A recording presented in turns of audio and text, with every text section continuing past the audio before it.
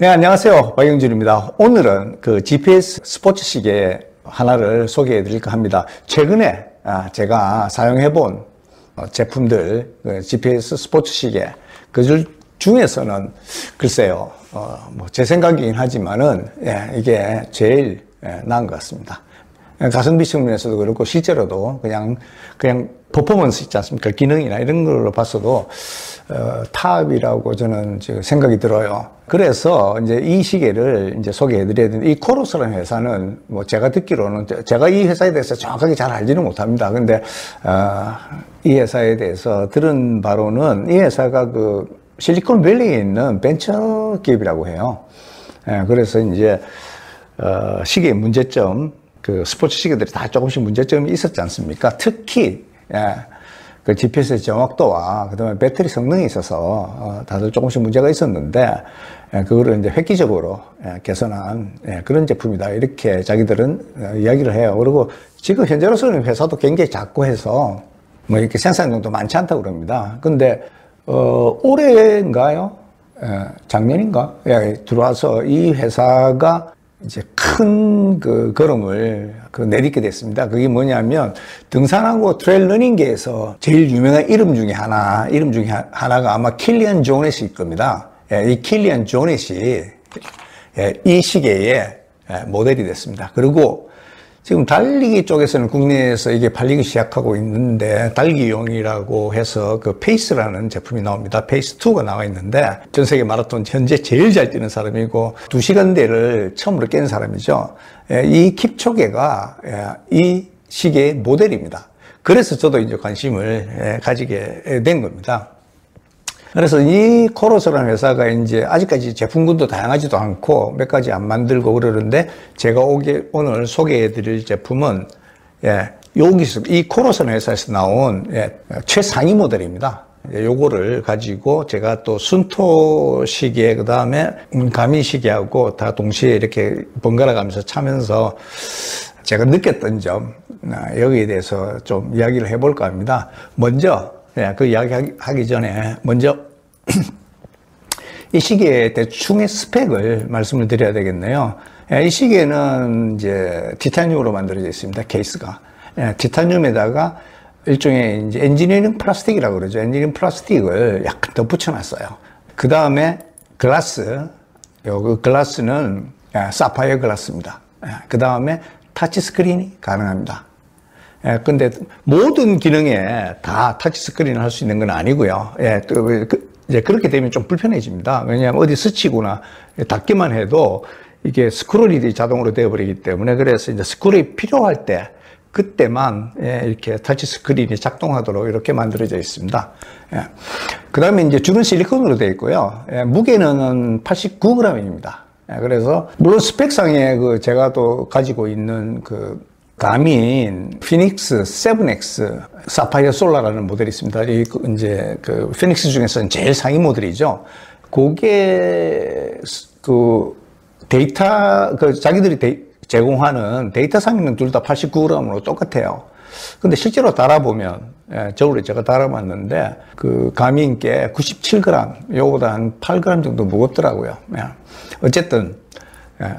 아주 가벼운 시계는 아닙니다. 예. 가빈 솔라도 상당히 크고 예, 그렇거든요. 예.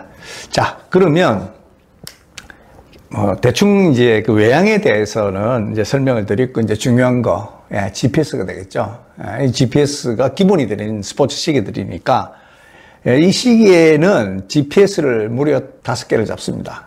그러니까 나와 있는 예, 위성 시스템은 다 잡습니다. 그래서 GPS의 밴드 1, 그러니까 L1, L2 밴드를 다 잡습니다. 예, 그 다음에 갈릴레오, 예, 그 다음에 바이두, 그 다음에 QZSS, 예, 그 다음에 글로나스, 이게 러시아 거죠. 요거를 다 잡습니다. 물론, 이렇게 모든 신호를 다 이제 잡게 되면 GPS 굉장히 약해져요. 근데 문제는 배터리를 빨리 닳습니다. 그거는 어떤 시기도 마찬가지입니다. 그 GPS를 잡을 때 예, 배터리 소모량이 제일 많습니다. 예, 그 때문에 그렇고요. 그 다음에 여기에 이제 센서가 들어가 있는데요. 센서도 뭐 무지하게 많이 들어가 있습니다. 예, 기본적으로 그 신밖에 이쪽 보시면 불이 반짝반짝 들어오는 게 있거든요. 신밖에요. 그 다음에 바로미터 들어가 있고 그 다음에 이제 거리 측정 때문에 쓰는 그 엑셀러로미터 가속도 센서죠. 예, 그 다음에 자이로스코프 들어가 있고 여기는 또 나침반이 들어가 있는데 나침반이 3D 나침반이 들어가 있습니다. 그 다음에 이제 그 체온계, 기온계 아, 이게 들어가 있고요. 그 다음에 이거는 어, 갤럭시나 이런 모델에서는 네, 안 들어가 있는 게 있어요. 그게 뭐, 뭐냐면 옵티컬 펄스 옥시메터라는 겁니다. 이게 산소 포화도를 재는 건데요. 다른 어떤 시계에도 지금 GPS 스포츠 워치 안 들어가 있는 게 심전도 그 센서입니다. 예, 이게 들어가 있습니다. 근데 이 심전도 센서가 운동하는데 뭐 그렇게 중요한지는 잘 모르겠어요. 예. 제가 이 심전도 글쎄 그 부정맥이 있는 사람들은 뭐 운동할 때 좀 운동을 이제 심하게 하다 보면 심장마비가 올 수도 있으니까 아마 그 때문에 들어가 있는 것 같습니다. 예. 그래서 뭐 제가 어, 이 시계의 무게나 그다음에 소재나 예, 그다음에 센서나 GPS나 뭐 이런 것들은 다 소개를 시켜드렸고 그다음에 이 시계가 이제 그 이번에 갤럭시가 그 길 찾는 거 있지 않습니까? 쉽게 말해서 그 트래킹하는 기능이 들어갔더라고요. 그리고 트래킹이 되면 트랙백도 될 겁니다. 뒤로 다시 똑같이 같은 길을 돌아오는 것도 아마 그것도 되는데 아, 이 시기도 물론 뭐그 가민 것도 마찬가지입니다. 그런 거 다 됩니다. 그 다음에 중요한 거는 그걸 하려 그러면 지도가 들어가야 되거든요. GPX 지도가 들어가야 돼요. 이 시계는 그냥 일반 지도도 예, 받고 이 안에서 보실 수 있어요. 이 지도는 코러스의 홈페이지에 가서 다운로드 받으실 수 있습니다. 글쎄요, 뭐 산에 갔을 때 이제 그게 그런 부분들은 어, 특히 지도가 들어가서 GPX 지도를 가다가 정확하게 볼 수 있고 이런 것들은 상당히 중요하거든요. 왜냐면 제가 등산 그 저기 유튜브를 하지 않습니까? 그래서 등산 쪽에서는 이제 그런 게 중요합니다. 그리고 이걸 이제 그 GPS를 풀로 켜게 되면 이 사람들을 저는 써본 적이 없어요. 제가 그 락클라이밍을 하지 않기 때문에 제가 써본 적은 없는데 어, 암벽 등반 긴 거 있지 않습니까?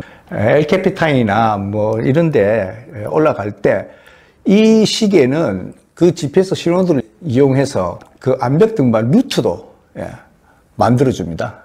그래서 이 시계가 자기들 주장으로는 그렇습니다. 그런데 저는 그 기능은 써보질 않았어요. 그래서 그건 잘 모르겠습니다. 예, 그 다음에 이제 배터리 이야기를 좀 해야 되겠습니다. 예, 배터리 이야기를 하면서 정확도 이야기도 제가 좀 하겠습니다. 자, Ultra Max GPS 모델은 이런 경우는 대부분 다 한 5초마다 한 번씩 체크하는 겁니다. 위성 신호를. 네.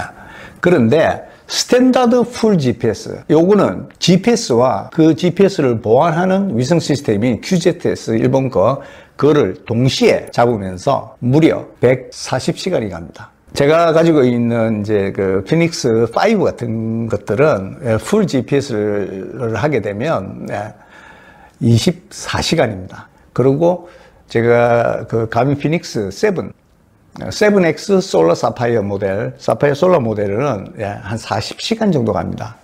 그러니까 가민도 그 피닉스 5와 7 사이에서 두 배 정도로 이렇게 그 GPS 사용 시간이 길어졌어요. 근데 이것은 140시간입니다. 예. 약 3.5배 정도.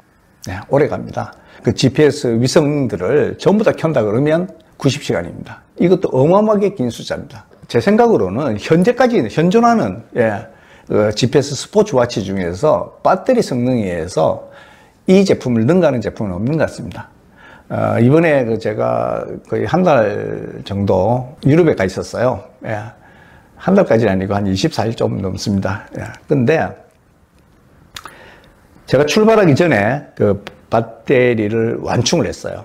어, 집에서. 그리고 이제 한 24일 동안 예, 계속 차고 중간에 GPS를 켠 건 한 5회 정도 될 겁니다. 그래서 하루에 평균 한 8시간 정도? 6시간, 8시간 정도 켠 것 같아요. 제가. 그래서 한 나흘, 나흘 동안, 아, 닷새, 아, 닷새 동안 켰거든요.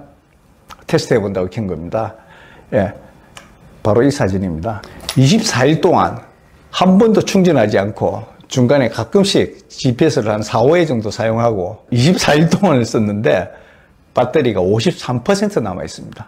그러니까 이 사람들 주장으로는 이 배터리 성능이 그냥 daily 차면 daily로 그냥 차고 GPS를 켜지 않은 상태에서는 어, 심박을 재주고 그리고 또그 수면 그 질도 측정해 주거든요. 그래서 이제 밤에 몇 번 뒤척였냐 이런 것도 측정해 주는데 그렇게 쓰면서도 요 시계는 두 달 동안 사용이 가능하다고 자기들은 주장합니다. 예, 근데 실제로 제가 써보니까 24일 썼는데 배터리 53% 남습니다. 그리고 실제로 그냥 시계만 차고 이렇게 계속 돌아다니면 하루에 1% 조금 넘게 대충 한 1% 정도씩 배터리가 감소하더라고요. 예, 그 정도로 예, 배터리 성능에서는 거의 압도적입니다. 그 다음에 이제 어, 중요한 거는 이제 그 과연 GPS 어느 정도 정확하냐.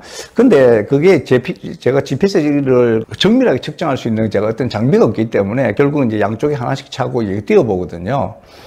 그래서 몇 번을 제가 이렇게 이걸 차고 띄워봤는데 1km당 달리기를 하시게 되면 1km당 대략 가민이 아까 말씀드린 7X보다 7X 솔라보다 이게 대충 20에서 30m 정도 적게 측정하는 것 같아요. 거리를, 움직인 거리를 1km당. 근데 그 두 개가 어떤 게 더 정확한지는 저는 잘 모르겠습니다. 야, 그게 뭐 제가 실제로 테스트 안 해봤으니까. 그러니까 그래도 조금 많이 재는 게 조금 더 정확하지 않을까 하는 생각은 드는데 그거는 잘 모르겠습니다. 근데 그건 둘 다 full GPS일 때고 예를 들면 all system, 모든 위성 시스템을 다 잡게 되면 이거는 아마 아직 테스트는 그건 못 해봤어요. 근데 그렇게 켜놓고 가게 되면 뭐 이것도 뭐 엄청나게 정확해지지 않겠냐, 뭐 그런 제가 추측을 합니다. 어, 현재까지 한 석 달 정도 제가 사용해 봤어요. 네, 이거와 이제 순토도 뭐 같이 이제 차보고, 그 다음에 또 가민 거도 제가, 가민 게몇 종류 있어요. 그래서 그것도 차보고 이렇게 해서 테스트를 해보는데, 뭐제 인상은 굉장히 인상적인 시계다. 예, 그래서 이거 이제 그 세틀라이트 시스템 잡는 거를 안에 들어가서 조절하실 수 있거든요. 그래서 몇 개를 잡는 거를 조절하시면 거기에 따라서 배터리가 유지되는 길, 그 유지되는 시간도 달라지고 예, 그 다음에 GPS의 정확도도 달라집니다. 예, 그렇게 설명을 드릴 수 있습니다. 그 다음에 메모리는 Garmin 거보다 작게 들어가 있어요. 이게 25기가인가의 메모리가 들어가 있습니다. 그래서 이 안에 노래 수백 곡, 수천 곡 집어넣고, 예, 그, 그 블루투스를 연결해서 예, 음악을 들으실 수 있습니다. Garmin 거는 30기가가 들어가 있습니다. 그래서 Garmin 거는 그 메모리 성능에 있어서는 앞섭니다. 그리고 예를 들면 Galaxy 그 이제 그 5 프로 같은 거 있지 않습니까? Galaxy Watch 5 프로 같은 것들은 그보다 적게 들어가 있습니다. 메모리가. 그래서 메모리도 좀 차이가 나죠. 그래서 물론 뭐 Galaxy는 499달러, 500달러고요. 요거는 700달러. 그다음에 이제 Garmin은 1000달러. 예, 거의 비슷한 이제 최상위 모델들은 가격들이 그 정도 차이가 난다. 그래서 제 생각에는 만약 고급 시계를 그러니까 high-end의 그 스포츠 watch를 그 선택하신다 그러면 갖고 있는 센서나 기능이나 이런 걸 본다 그러면 그리고 배터리 성능이나 이런 걸 본다면 이 제품이 상당히 가성비도 물론 이게 그냥 그 700달러니까 우리나라 돈은 90 몇만 원이지 않습니까? 그게 90몇만 원짜리 가성비 따진다는 게 좀 웃기긴 합니다만은, 예, 어차피 이제 각 브랜드의 top 모델을 선택하신다 그러면 예, 가성비도 나쁘지 않다. 상당히 좋은 편이다. 뭐 이렇게 설명드릴 수 있습니다. 예, 오늘은 COROS에서 나온 Vertix 2, 어, 이번에 나왔습니다. 올해 나오는 시계인데요. 예, 여기에 대해서 제가 간략하게 설명드렸습니다. 네, 오늘은 여기까지입니다. 네, 감사합니다.